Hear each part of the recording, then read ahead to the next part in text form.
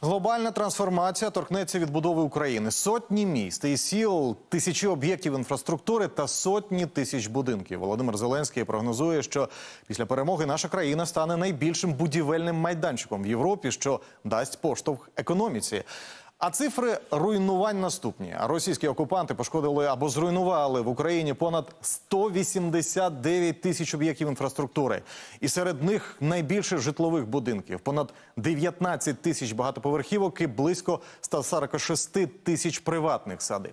Окупанти обстріляли майже 3,5 тисячі закладів освіти, зруйнували понад тисячу лікарень та амбулаторій. Постраждали сотні промислових підприємств. Згідно зі звітом Світового банку, лише за перший рік повномасштабного вторгнення росіяни завдали збитків на понад 400 мільярдів доларів. Проте ця цифра в кілька раз більша, адже у звіті не врахували тимчасово окуповані території. І зараз до нашого ефіру долучається Олексій Кулеба, заступник голови офісу президента. Пане Олексію, я вас вітаю в нашому ефірі. Вітаю вас. Пане Олексію, е, я знаю, що от зараз знаходитесь з робочим візитом на Херсонщині. Розкажіть нам, будь ласка, яка там ситуація, як триває ліквідація наслідків після підриву росіянами Каховської ГЕС? Так, дійсно, сьогодні з самого ранку, за дорученням президента України, я знаходжусь е, на Херсонщині. Тут дуже спекотно, тут живуть дуже сміливі люди. І е, хочу вам сказати, що ситуація дійсно складна. Відбувається ліквідація наслідків терористичного акту. На сьогоднішній день можна сказати про те, що наслідки це ці дуже серйозні, і без допомоги наших е, представників областей тилових і, взагалі, всіх наших громадян відновити буде щось дуже складно. Е, Тим не менш, я сьогодні проїхав майже весь Херсон. Можу сказати, що ліквідація наслідків, конкретно прибирання, відбувається у всіх куточках Херсону.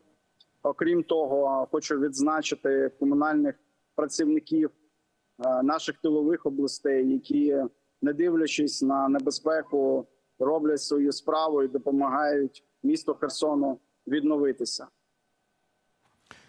Пане Олексію, як нас чути? Які стосуються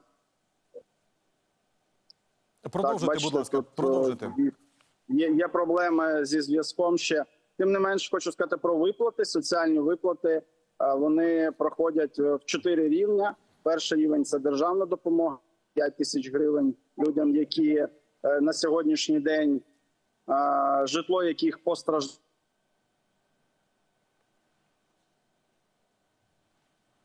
Пане Олексію, на жаль, трохи обривається зв'язок, але ми вас слухаємо. Будь ласка, продовжуйте. Да. Окрім того, є виплати з міського бюджету, з обласного бюджету. Також є виплати з міжнародних фондів. Е, можемо сказати про те, що тільки з е, державного бюджету за останні два дні було зроблено більше 500 виплат. Тобто, процес іде, це важливо. Люди мають отримати соціальну допомогу від держави. Місто і область також е, зі свого боку роблять виплати. Е, В них трошки менше темп, але це е, в основному прив'язано до того, що люди в першу чергу звертаються до державних органів влади. Е, Окрім того, хочу сказати, що в нас е, по відновленню Херсонщині зараз знаходяться представники 15 тилових областей у різних куточках Херсонщини.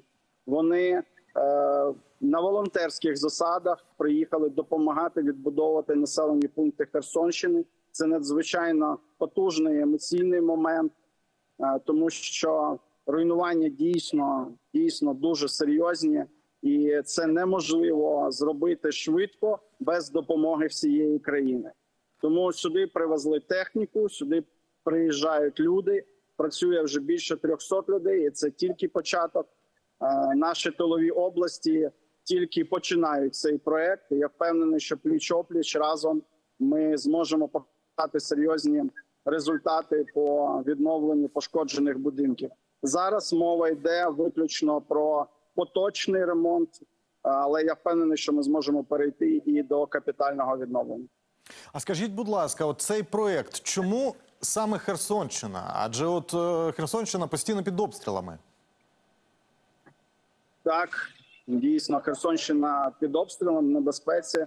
Але хочу сказати, що, по-перше, е, є величезний запит на повернення людей. Люди вертаються до своїх домівок. По-перше, по-друге, це те, що тилові області вони беруть зараз населені пункти, громади, які е, знаходяться в умовній в умовній безпеці. Е, Ми можемо говорити і казати про те, що в принципі ця небезпека вона не набагато більша ніж е, на території всієї нашої країни.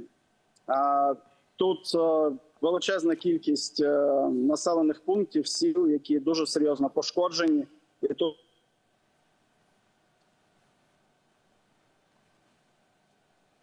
Пане Олексію, саме в своїх будинках.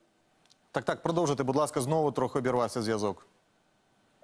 Так, ну і звичайно, основне це те, що тут треба людям просто допомогти, щоб вони взиму зайшли з е, дахами на своїх будівлях і з вікнами, зробити максимум для того, щоб вони були забезпечені нормальним життєдіяльністю своїх населених пунктів.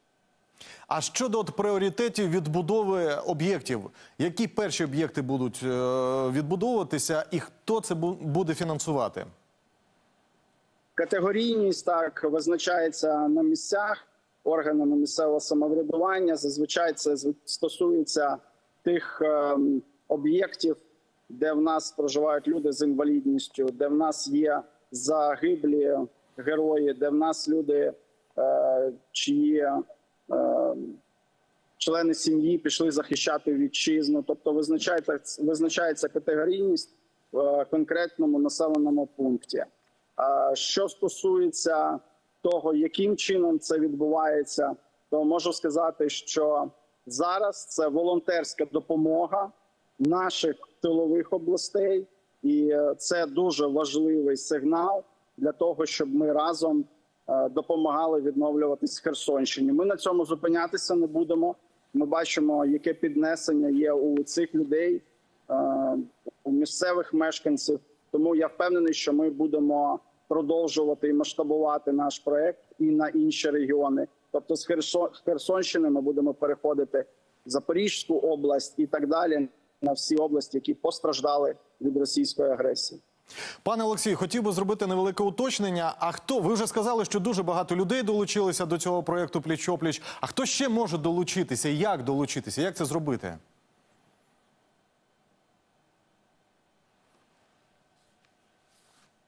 Пане Олексію, як нас чути? На жаль, обірвався зв'язок з Олексієм Кулебою, заступником голови офісу президента. Дякуємо йому за цю розмову.